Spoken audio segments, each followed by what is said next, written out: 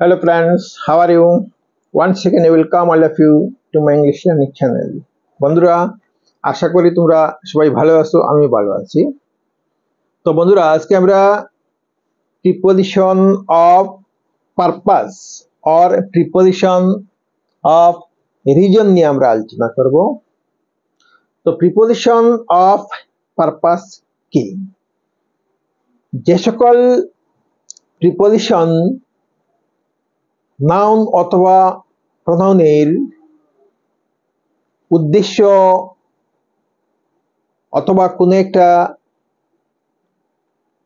কাজের কোনো একটা ঘটনার কারণ ব্যাখ্যা করতে ব্যবহার করা হয়।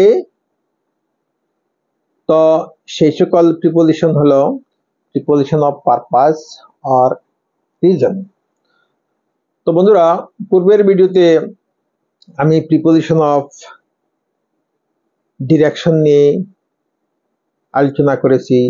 তার পূর্বে প্রিপোজিশন অফ টাইম তো প্রিপোজিশন অফ প্লেস তোমরা সেই সকল ভিডিও দেখে নিবি। তো এই সকল ভিডিও দেখলে তোমাদের প্রিপোজিশন সম্পর্কে যত ডাউট আছে সেগুলো ক্লিয়ার হয়ে যাবে।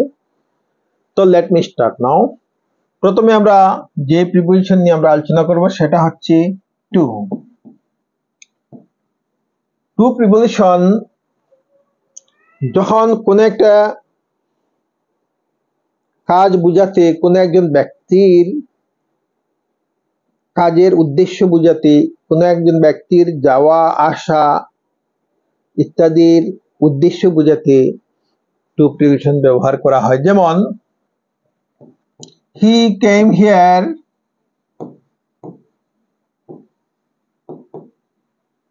to attend the meeting. He came here to attend the meeting. সে এখানে কি উদ্দেশ্যে এসেছিল সেখানে মিটিং এ উপস্থিত হওয়ার উদ্দেশ্যে এসেছিল তো I I went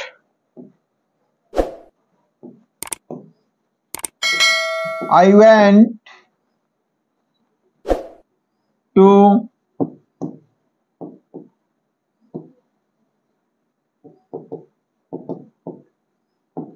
I went I went there to meet my friend আমি সেখানে কেন গিয়েছিলাম আমার উদ্দেশ্য ছিল আমার বন্ধুর সঙ্গে মিট করার I went I went there to meet I went there to meet my friend আমি সেখানে গিয়েছিলাম আমার বন্ধুর সঙ্গে মিলিত হওয়ার জন্য I went there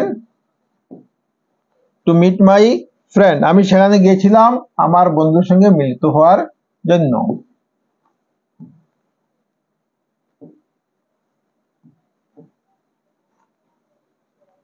আমি আবার লিখছি বাক্যটা। I went there to meet my friend. আমি আমার বন্ধুর সঙ্গে মিলিত হওয়ার জন্য আমি সেখানে গিয়েছিলাম। তো they have come here to play cricket. তাহারা এখানে এসেছিল, কেন এসেছিল? টু প্লে ক্রিকেট ক্রিকেট খেলার জন্য, অর্থাৎ উদ্দেশ্যটা কি? ক্রিকেট খেলা। তো এই অর্থে টু ব্যবহার করা হয়। নেক্সট ফর ফরটার মিনিং সেই টুর মতো ফর ব্যবহার করা হয়। যেমন আমি পড়াশোনা করছি ভালো, রেজাল্টের জন্য। আমি সিরিয়াসলি গুরুত্ব সহকারে পড়াশোনা করছি ভালো, রেজাল্ট করার জন্য। তো কীভাবে হবে?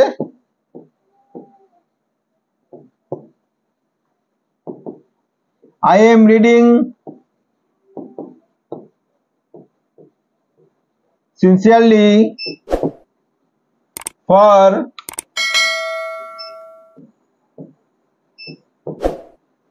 getting better result.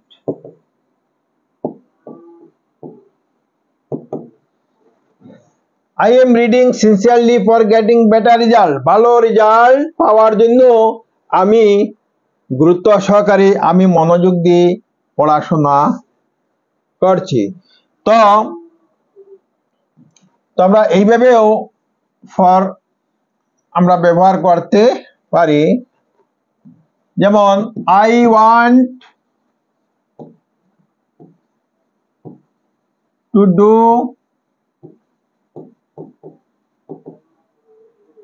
something for my country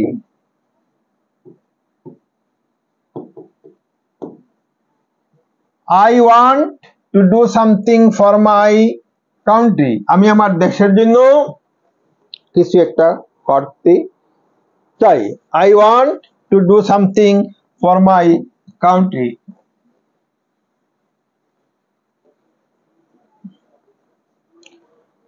তো I am working to earn something for my family আমি কাজ করছি কিছু অর্জন করতে কার জন্য আমার পরিবারের জন্য দ্যাট মিনস ফরটা এই অর্থে ব্যবহার করা হয় কোনো কারোর জন্য, কোনো কিছু করতে, পরিবারের জন্য করতে, দেশের জন্য করতে, আমার নিজের জন্য করতে।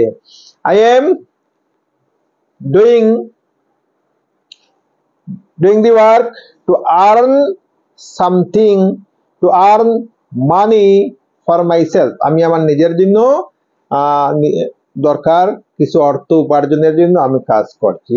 তো I am doing the work to earn money for myself আমি আমার নিজের জন্য কাজ করছি, অর্থ উপার্জন করতে। আমি আর আমার পরিবারের জন্য আমি কাজ করছি অর্থ উপার্জনের জন্য। I am doing the work to earn money for my family আমার পরিবারের জন্য আমি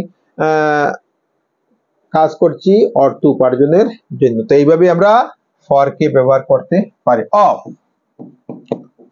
অফ যখন পারপাস অর্থে বা কারণ অর্থে ব্যবহার করা হয় তখন এইভাবে আমরা ব্যবহার করতে পারি।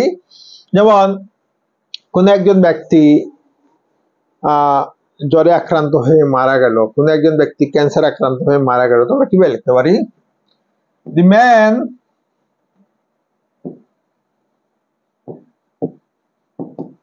died of fever. যে ব্যক্তিটা যে জ্বরে আক্রান্ত হয়ে মারা গেল। অন্য কোনো ব্যক্তি হয়তো কি হতে পারে? The man died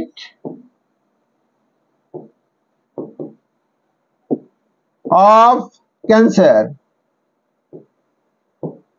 কোন একজন ব্যক্তি হয়তো ক্যান্সার আক্রান্ত হয়ে মারা যেতে পারে। তো মেনলি যখন পারপাস বা রিজন অর্থে বুঝাই মেনলি রিজন অর্থে ফরটা, অফটা ব্যবহার করা হয়।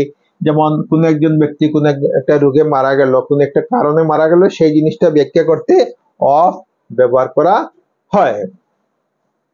তো নেক্সট ফ্রম তো ফ্রমটাও এরকম, যদি কোনো একজন ব্যক্তি জ্বরে বা কোনো একটা রোগে যদি ভুগে, তখন ফর ব্যবহার করা হয় ফ্রম ব্যবহার করা হয়ে থাকে। যেমন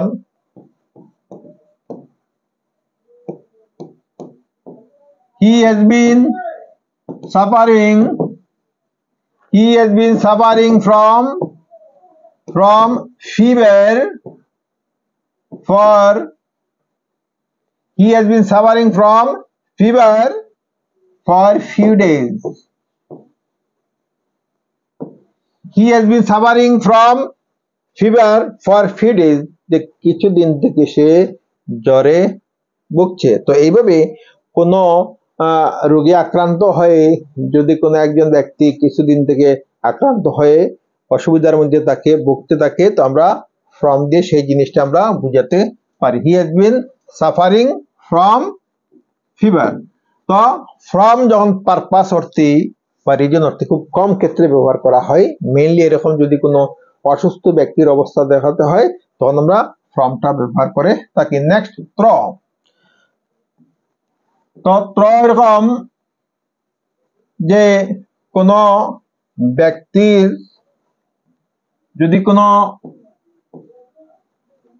তার কর্মের কোন অবস্থা দেখাতে আমরা ত্র ব্যবহার করে থাকি। যেমন, একজন স্টুডেন্ট ভালো রেজাল্ট পায় নাই, কেন পায় নাই যদি আমরা সেই কারণটা দেখাতে যাই, আমরা ত্র ব্যবহার করতে পারব। যেমন he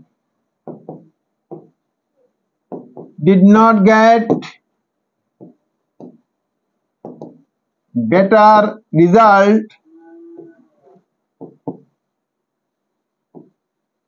through his negligence. See, he did not get better result through his negligence. Jitar অবহেলার কারণে ভালো রেজাল্ট বেটার রেজাল্ট পায় নাই। যে যখন পড়াশোনার যখন সময় ছিল, তো গুরুত্ব দেয়নি, অবহেলা করেছিল, তো সেই জন্য ভালো রেজাল্টটা পায়নি। আমরা এইভাবে বলতে পারি they did not win the match through their negligence যে তাদের অবহেলার কারণে তারা ম্যাচটা জিততে পারে নাই। তো আমরা এই ক্ষেত্রে থ্র ব্যবহার করতে পারি। নেক্সট উইথ উইথ যখন আমরা রিজন অর্থে আমরা খুব কম অর্থে উইথ ব্যবহার করা হয়, যেমন the man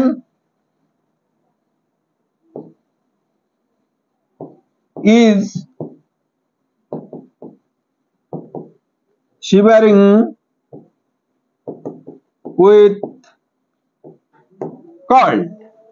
যে মানুষটা জ্বরে কাঁপছিল শিবারিং মানে কি? কাঁপা। জ্বরে কাঁপছিল ঠান্ডায় মানুষটা কাঁপছিল তো এই ধরনের যখন কোনো ব্যাপার দেখাতে আমরা চাই, তখন আমরা উইথ অর্থাৎ খুব কম ক্ষেত্রে উইথ ব্যবহার করা হয়ে থাকে রিজন অর্থে। তো the man is shivering with cold মানুষটা জ্বরে কাঁপছিল তো বন্ধুরা, তোমরা দেখলে যে কীভাবে আমরা এই ধরনের প্রিপোজিশনকে আমরা প্রিপোজিশন অফ পারপাস বা রিজন অর্থে ব্যবহার করে থাকি তো বন্ধুরা, ভালো করে ভিডিওটা দেখবেই। তোমরা যারা নতুন এসেছ, আমার চ্যানেলকে সাবস্ক্রাইব করিও। ভিডিও ভালো লাগলে লাইক করিও, তোমাদের বন্ধুর কাছে শেয়ার করিও। তো আজকে এই পর্যন্তই। Thank you so much